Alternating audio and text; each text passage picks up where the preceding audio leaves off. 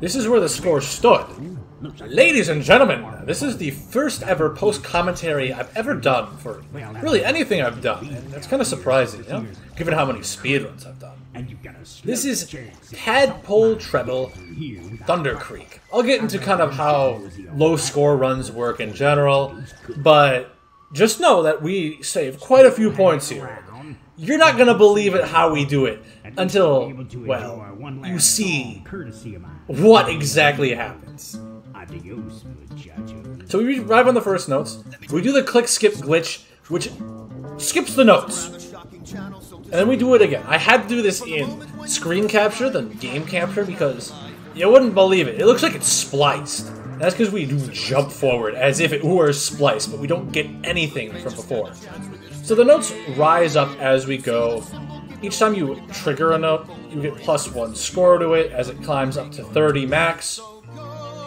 And so we keep going, and by delaying the 30, we can delay where we get hit, which I do it for this first lightning so we can damage boost through it.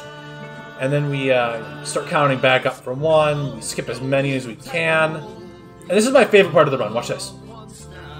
We precisely time our click skip. This is very hard to hit uh, to stop us from getting damaged by that lightning. So we can choose to get damaged somewhere else more advantageous.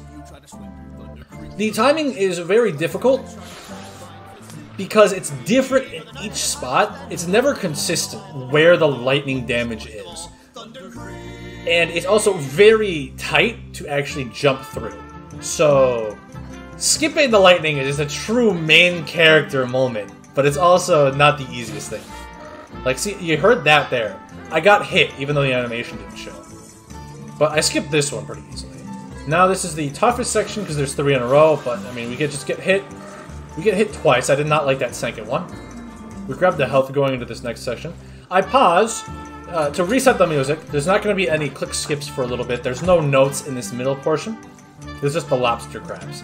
And so we reset the music just for the fun of it. It's not too long, and it's not like we're speedrunning this. We get through a modest 1,400. Reminder that the score was 8,000 and we're ending up at 3,000. So we're halfway. Halfway through the score, halfway through the level. Not bad. So we just keep going through. I used to be the record holder for all the lowest scores. I still am. But the leaderboards went down, so I can't really prove it as well anymore. So we reach the next portion. There's a lot of notes here to skip, and there's lightning too. And we do. We skip the lightning really well. And then we take damage anyways, though, because we were getting close to the 30. We get some health. We miss the jump. Did we get this last one? No, we don't. So we once again miss the triple. We go through the bone. Usually hitting the bone gives you about 200 points. We missed the skip, but that's okay. We did need the reset, I think, anyways. Um, we miss another one, but that's okay because we just go through the lightning. Once again, the bone's insane. And so, I forgot to mention why we're skipping the lightning. Because if you hit the cymbal, it gives you a times 2 modifier. So instead of, you know, avoiding the lightning by using the cymbals, we just skip over the lightning. We hit through that last lightning, which is cool. And then we get hurt here and jump over the last, last note to get us a solid 3-1-5-1.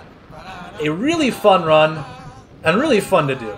We broke the game. Anyways, as I mentioned, I was the lowest score holder in every category, so let me go through all these levels for you. I'm gonna show you what the lowest score is as of this video. There's a lot of them to break, though, because they don't really utilize the click skip.